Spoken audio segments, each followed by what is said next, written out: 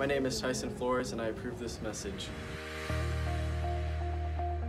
Experiment with hair, art, music, and fashion. Not marijuana. You're gonna need that brain.